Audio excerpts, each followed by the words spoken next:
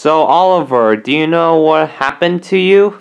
Well, James, I crashed into a set of buffers and derailed myself.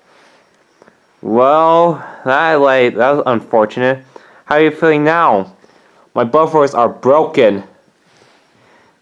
Calm down, we're going to take you to the Steamworks. James, what is Oliver doing here? Well, he got into an accident with some buffers and derailed himself, so I brought him here. Oh, uh, that's nice of you, James. Yeah, well, I'm gonna leave you now, Oliver.